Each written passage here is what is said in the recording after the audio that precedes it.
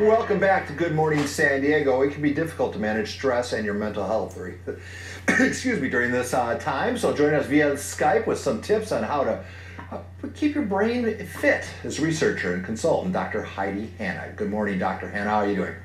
Good morning, Paul. It's great to be here with you. And oh. good. How are you? You guys are having some laughs over there this morning. Well, we, we, try to keep it light during a pandemic. That's our uh, pandemic mode. But of course, you know, everybody saw the news in Lemon Grove yes, yesterday, and everybody, you know, tragedy that we would like to keep to a bare minimum as we uh, go through this pandemic together.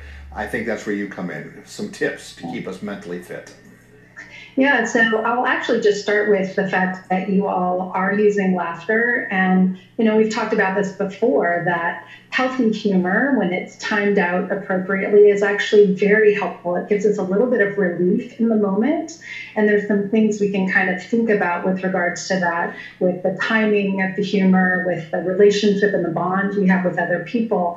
But I think there's a tendency right now, especially, to feel almost guilty laughing because so many people are struggling. And I just want to emphasize for you all, as well as those watching, that having a laugh and actually looking at life with some levity doesn't minimize the challenge and the difficulty um, that we're all experiencing right now. But it just gives us a moment of relief and actually helps the brain to work more effectively so that we can problem solve better.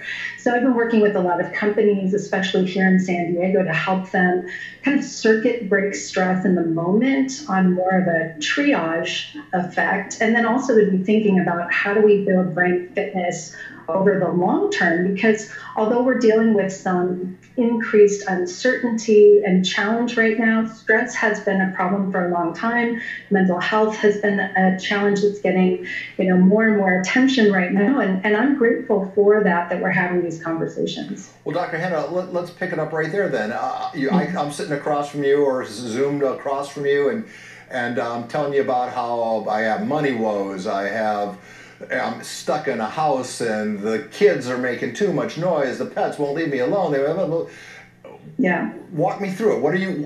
What are the steps you're going to teach me that I can alleviate some of that stress? Yeah, so the first thing I think is just to acknowledge and appreciate what you're saying. I mean, times are hard, absolutely. And one of the worst things we tend to do is because we feel uncomfortable with someone else's pain or struggle, we want to fix it. So I can say it's not that bad, other people have it worse than you, and that actually doesn't help at all.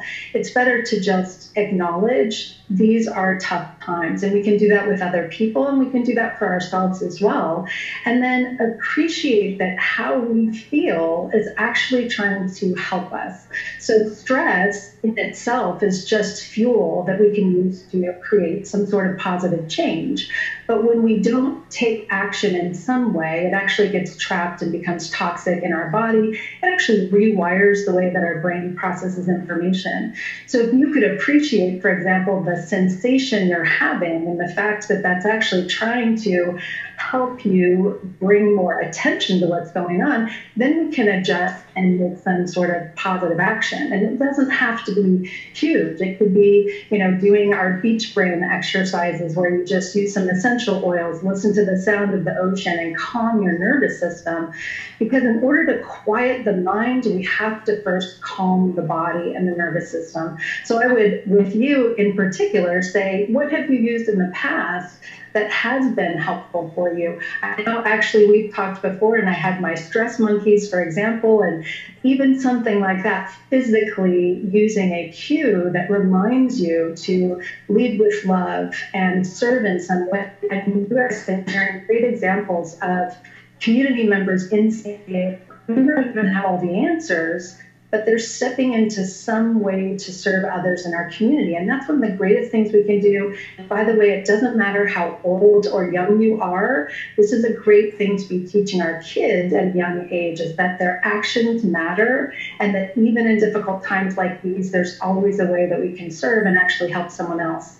Well, I, let's expand on that because I think as adults we all recognize the stress in one another. But we sometimes forget that this is a stressful time for the youngins as well. What are the signs should we be looking there at? Yeah, I think I would encourage people to lean into those conversations. It's interesting you bring that up because I actually am very excited about a new program that I'm launching specifically for college and high school students. And this was started actually before the COVID 19 crisis, so it's even more relevant now. And over the weekend, I had the opportunity to interview a couple of teenagers. Uh, one is a family member, one's a good friend. And I was asking them, you know, what is this like for you? What what's making you feel stressed right now? And it was fascinating. They're actually giving me a lot of insights that I'll continue to share with viewers over the next couple of weeks. But one of the things they said was their workload has increased, and they actually feel like teachers are trying to overcompensate by not being in the classroom and giving them too much to do. And so I think just asking the questions, asking good, constructive questions where we don't get stuck in the negative loop of feeling out of control, but actually saying, you know, what's triggering this for you? One of them is coming up with really creative ways to connect with his friends. And another one actually is in a romantic relationship for the first time. So we talked about how that was helpful and how it was actually really difficult for him because he's so in love and missing seeing his girlfriend in person. So I think having the conversations and just being willing to really appreciate what students are going through right now is important. And then the signs you want to watch for, or I would say, um, anytime are things like too much sleep, not enough sleep, lack of appetite, too much appetite. Really keep an eye on their dependence on technology because it's one thing to use it for school and to get some information, but if we're using it nonstop, technology is stimulating the reward pathways in the brain and it can actually be really addictive if we're not careful. Oh boy can I relate to that item? Uh, we'll, we'll leave it there. Our next time I uh, we chat, I want to talk about the role of physical activity as it relates to walking and jogging, and things like that. But that, that's for our next conversation. Dr. Hanna, thank you so much for making time for us.